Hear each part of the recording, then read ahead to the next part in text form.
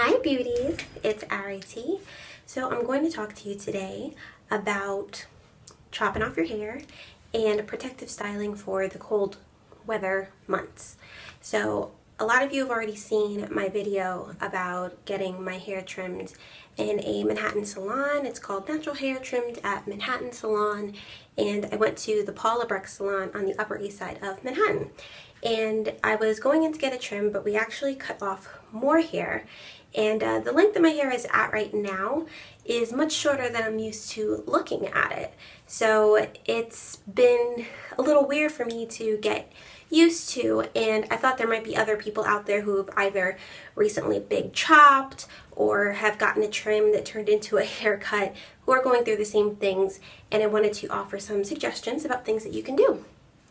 So one of the things that I did upon um, realizing how short my hair actually was was to flat iron it. and in my most recent video, I was starting off on flat ironed hair to do my satin roller set. And wearing my hair like that made me feel a little bit more comfortable because my hair stretched out is closer to the length that I'm used to seeing my hair. So it felt a little bit more at home with my hair that way because doing a twist out, a wet twist out for example, on my hair at the length it is right now, it's very, very short looking. Um, whereas before, you know, it would hang down maybe down here. Now it's like hanging up here.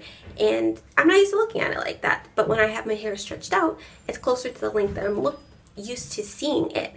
And I just feel a little bit more comfortable for the time being until I get more used to this haircut.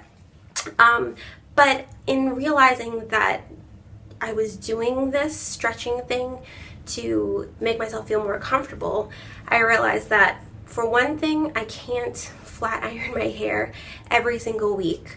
I, I shouldn't be blow drying my hair every single week every time I wash it.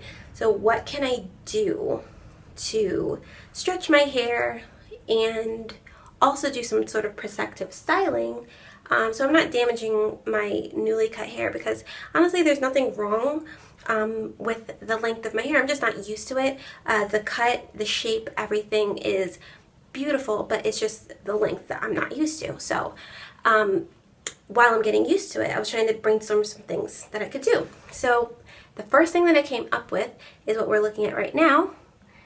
These are little twists. I love to use Cantu Shea Butter for this type of stuff. A wet product and detangling. Twist tightly at the top, but then as you get to the bottom, kind of loosen it up a little bit.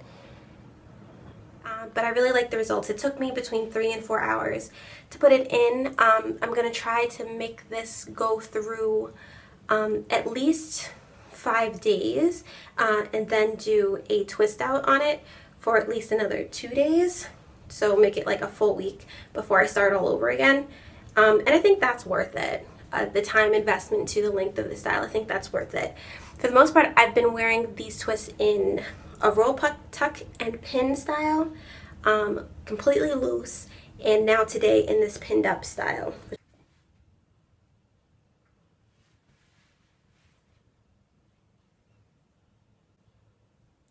Uh, if you have questions about how to maintain them or um, just any questions about installation, please make sure you leave a comment and I will get back to you. Thank you guys for watching and I'll see you soon. Bye.